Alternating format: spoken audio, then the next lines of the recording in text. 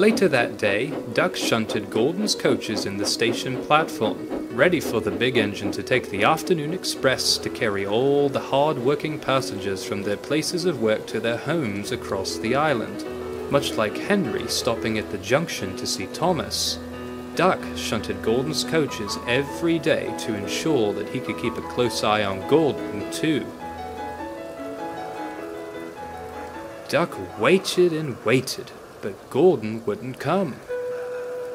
The clock says one after five, Duck said. Where is Gordon? Henry, Donald, and Douglas looked from afar. Come on, Gordon, Henry said under his breath.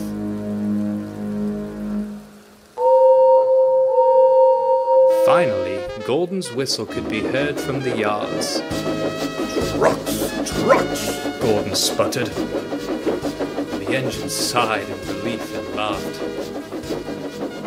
I don't know how Percy makes them behave so well, but I can't stand them.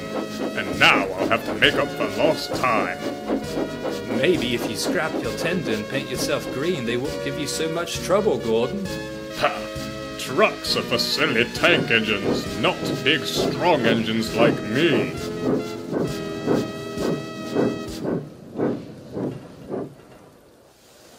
Now, if you'll excuse me, I have an express to pull. Come on, come on, come on, Gordon said to his coaches. Gordon gave a long whistle and was out of sight.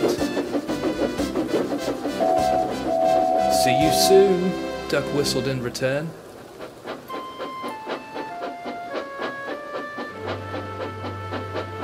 I see Gordon is off with the express. That's good. I'll help you shunt the rest of these trucks and then we'll get a well-deserved rest. The engines worked hard for the rest of the afternoon and returned to the sheds. The day had been long and difficult. The two engines were exhausted and fell to sleep at once.